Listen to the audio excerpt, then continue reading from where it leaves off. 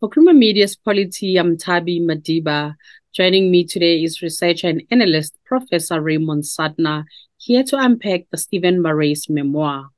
Welcome, Raymond. Thanks very much.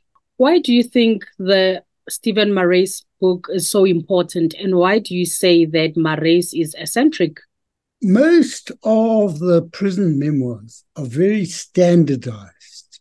You know, people don't talk about themselves they say I put the fuse down and it didn't go off and I had to go back.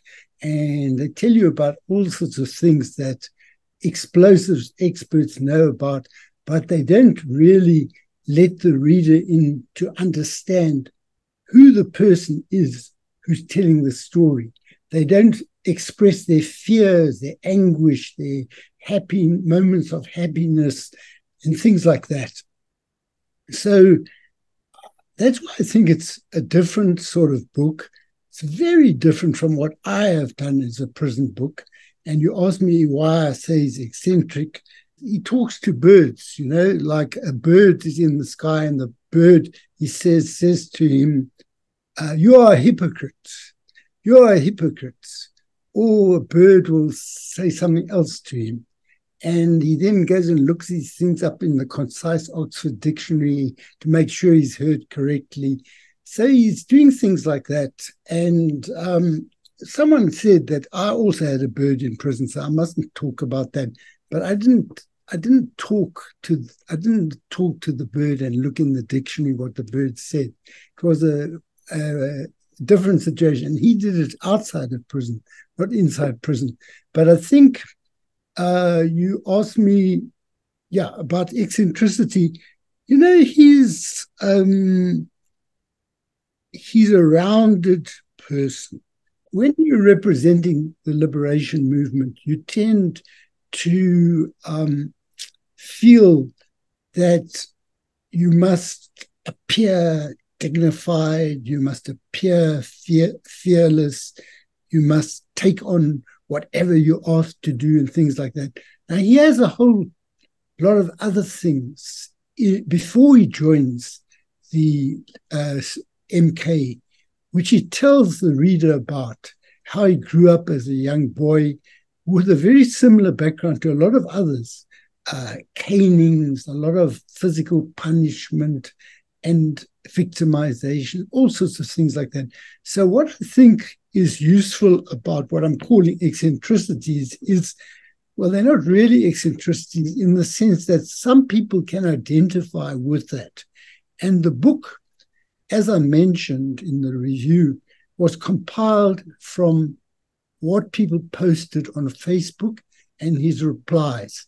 Now, I've never heard of anyone creating a book out of in that way, but it works. So that's what I think is different about this book um, from many others. And you suggest that one does not necessarily lose control in situations of an imbalance of power, as in police interrogation. So, what is your reasoning? Yes, you know, I use a word reify.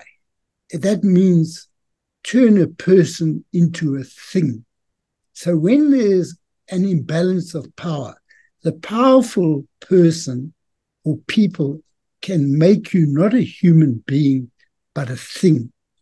Now, what I'm arguing is that even under torture, even under very difficult situations, you can claim your own agency, your own decision making. Now, when you're in a room full of apartheid security police, the balance of forces is very unfair. You don't easily exercise your agency because these people are um, much more powerful than you. But what Stephen Marais shows, and I've also mentioned this not so much in my book, but in an article, before he goes into the interrogation, uh, an African policeman says to him, They really want to break you now. So you must decide what you really can't tell them. You tell them other things, but don't tell them that.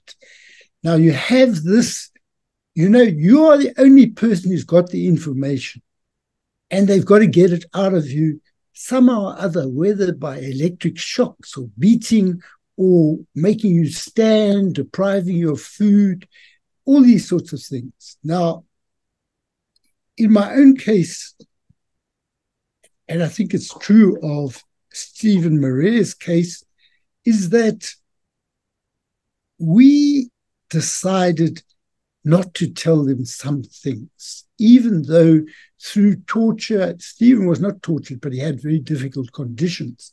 But through torture, you are in a very disadvantageous position compared with uh, those who are interrogating you, but you have not lost all capacity to make your own decisions. The fact that you withhold some things is a claiming of your agency that you are not reified, that is not made into a thing. So that was what I meant, but it doesn't just apply to interrogation. It applies to everyone in relation to someone who has more power than them in a marriage, in an office situation, in a whole lot of other situations. You don't all you don't lose all capacity. Maybe your capacity is not what you would like it to be because of this imbalance of power, but you don't surrender all your power. And lastly, Raymond, why is it so remarkable to use Facebook postings as the basis for a book? I've, uh, I mentioned it before because I've never heard of it happening before. And in my own case, I'm on Facebook. But you know, half the people who are Facebook friends, on 90%, are not my friends. They just go onto Facebook. Some of them make comments that irritate me, but I don't com- I don't reply. I say nothing. Sometimes I do comment. For example, if it's my own article that they're commenting on, sometimes I don't comment, sometimes I do comment, but most of the time they're commenting on other things that I've posted and they make very irritating comments. Now, I don't see why I must engage with these people why I must tell them about my health or how I woke up this morning and didn't feel happy or rested and was depressed and all this. I keep quiet. I keep those things to myself, or I say them to my real friends, not the Facebook friends. For a lot of other people, Facebook is a place where they like to engage with one another. And that's why I'm saying it is unusual. I've never heard of a book like this. Stephen Marais, and myself are very different people. So we come from both come from the struggle between very different people. And he has made something out of these engagements, which I never tried. Maybe I'm wrong, but I still won't do it if I go to jail again. That was Professor Raymond Suttner speaking to Creamer Media's Polity about the Stephen Marais memoir.